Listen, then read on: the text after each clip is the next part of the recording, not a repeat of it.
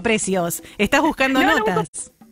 Estoy buscando notas, pero al, al- al estilo de Lita de Lázari, camino, camino, camino y no paro.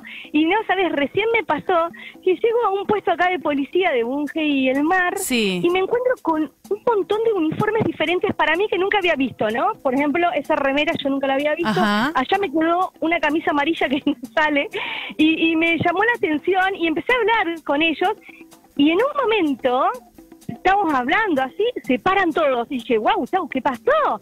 Y había Ah. llegado gente con, o sea, con mayor categoría, ¿no? Con, no sé, yo... perdón, mayor con jerarquía.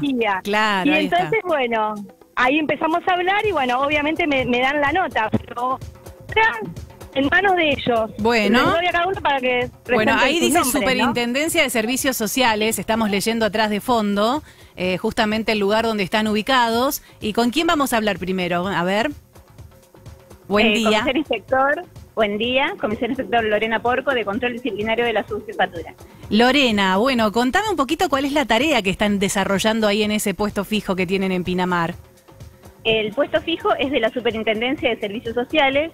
Está destinado a asistir al personal policial que se encuentra caminando en las playas de Pinamar, asistiendo a la gente. Entonces, Servicios Sociales asiste dándole agua, si algunos se descomponen, tienen una ambulancia para brindarle primeros auxilios, información a la gente, a los afiliados que son de, de policía, les acercan la información de los beneficios eh, que le presta esta superintendencia. Buenísimo, súper claro. Bueno, seguimos ahí, que se presente nombre y jerarquía.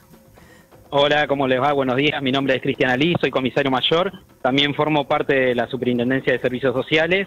Y bueno, como les decía Lorena, nos dedicamos a asistir a nuestros propios compañeros. Buenos Eh, días, Cristian. Buenos días. Bueno, a ver, y más o menos para tener una idea, ¿cuántos chicos tenemos trabajando en el operativo este verano en la playa? Y tenemos más de mil seguro en diferentes puntos de la provincia, todo lo que es el, el, el corredor atlántico, calculá que tenemos miles de policías trabajando en diferentes áreas, tenés gente de servicios sociales, como bien decía, gente de control disciplinario, la jefatura, su jefatura, tenemos, bueno, personal de seguridad, bomberos, todo lo que es seguridad eh, en, en las rutas, tenemos gente de policía vial también, Sí. cada una de las áreas, bueno, va desempeñando una tarea en, en su sector de, y en su ámbito de responsabilidad. Perfecto. Bueno, y a ver, ¿quién sigue ahora? ¿Lo teníamos ahí a Cristian? Hola, buen día. Yo soy oficial ayudante Rodríguez Sana. Eh, damos servicio en la Superintendencia de Servicios Sociales y nada, estamos para eso, para el apoyo de los, de los personal policial, para poderle brindar agua, asistencia o en lo que necesite. Bien, y contame un poco el tema de, porque nosotros los vemos recorrer a los chicos todo el tiempo, ¿no? Sabemos que están muchas horas parados también. Eh, ¿Cuáles son la- las asistencias que más brindan ahí ustedes, por ejemplo? Nosotros ahora lo que hacemos es entrega de agua, también tenemos la ambulancia para en caso de que alguien se descompense o tenga algún algún accidente, es para, para prestar colaboración solo para el efectivo policial. Exacto. Solo para el efectivo policial, eso quedó súper clarísimo. Bueno, y había alguien más ahí, que era la remera turquesa, que no sabíamos qué era. Buen día. ¿Cómo, cómo, ¿Cómo anda? ¿Qué tal? Buen día. Mi nombre es Pablo Escorropat, comisario mayor también de Servicios Sociales. Y obviamente afirmar lo que cuentan lo- los compañeros aquí y no, no obstante eso, darle una ayuda al ciudadano que por ahí necesita una ayuda turística y ubicación y, y bueno, asistir a la gente que, que se acerca también al puesto y aparte de darle una mano al personal policial. Perfecto. Eh, comisario, ¿y cu- hasta cuándo se van a quedar en Pinamar con este puesto fijo ahí? No, y por toda la temporada y, y- y bueno, dándole, como ya le, le- le dije, una mano al personal policial que necesita eh, permanentemente de nosotros y, y al ciudadano que, que se convoque aquí. Bueno, qué importante, ¿no? Que tengan todo este operativo armado tan prolijamente y también contempladas estas cosas que puede pasar con la gente que está tantas horas, ¿no? A veces al rayos del sol, al intemperie, con cansancio y demás. Está bueno que sepan que tienen este punto. ¿Es el único que tienen a lo largo de, de la costa en Pinamar o hay otros en alguna, mm, por ejemplo? en Pinamar es solamente aquí, luego tenemos en San Bernardo, Ah, en bien. Gese y en Mar de Plata. Bien, perfecto, a eso quería llegar. Bueno, que tengan una excelente temporada en Pinamar de trabajo. Muchísimas gracias, muy amable. Gracias. Hasta luego. Bueno, Mariana, ahí por un momento se nos perdió el video, Mariana, te cuento. Estamos mostrando Ah, la playa. bueno. Este, así que si lo querés Ah, reponer mientras estás hablando, Dale, no hay ningún sí, sí. problema. Eh, Dale, bueno, me encantó saber esto que nos estaban contando, ¿no? Porque muchas veces nos pasa a nosotros, vecinos pinamarenses, que vemos que los efectivos están paraditos en una esquina, a veces tienen sombra, a veces no, les acercamos casi siempre algo para que tomen o algo para comer y los chicos lo aceptan de muy buena manera, la verdad que hay que decir eso, ¿no? La, la educación que tienen, eh, la forma de estar atentos también a los movimientos de los barrios que les van tocando para cuidar y demás. Eh, así que no teníamos ni idea que, por ejemplo, tenían este lugar que es para asistencia del personal únicamente policial. Así que me encantó, Mariana. ¿Viste qué interesante el, el trabajo de ellos? Realmente, sí, sí, yo tampoco sabía. Y es más, bueno, hay otros que no pudieron hablar, que es, están en el tema de... mm, forestales. Ah, claro, Policía de Seguridad Sinestral.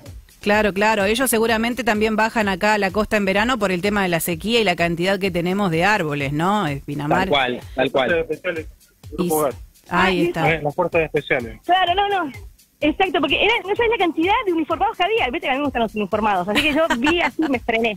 Claro, es cierto eso, porque eh, según la rama, a ver si ellos que saben, ¿no? Eh, me dicen, según la rama de la policía, uno puede orientarse para el lado de bombero, ¿no? Especialidad. Sí, son Especialidad. diferentes especialidades.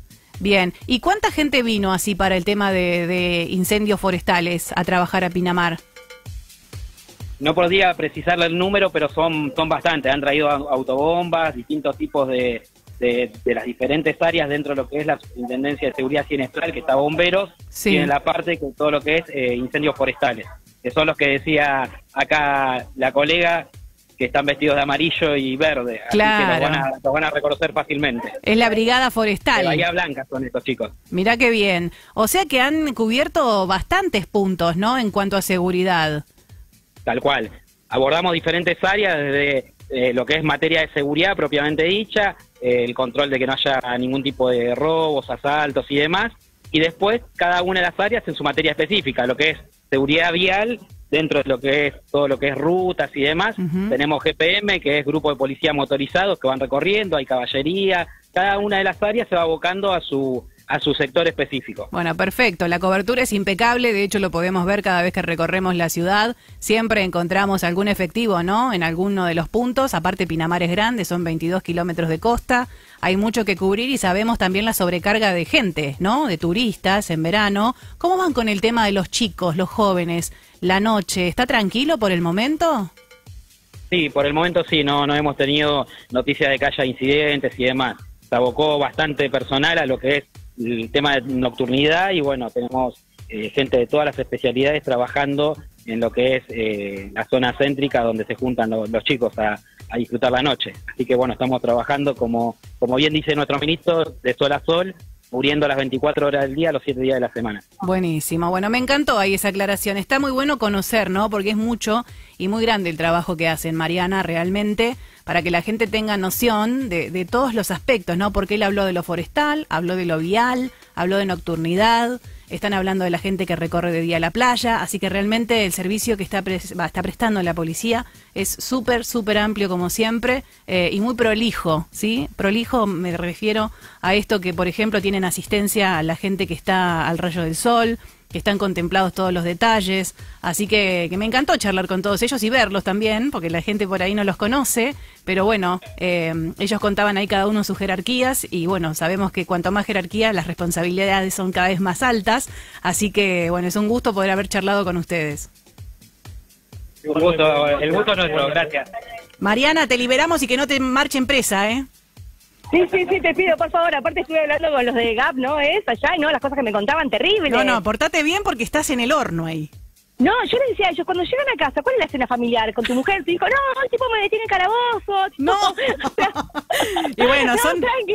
Son otro tipo de anécdotas, ¿eh? que vale la pena también Claro. escuchar. Mariana, nos Claro. encontramos en un ratito. Gracias por la nota, hermosa. Dale, Chau, chau. gracias.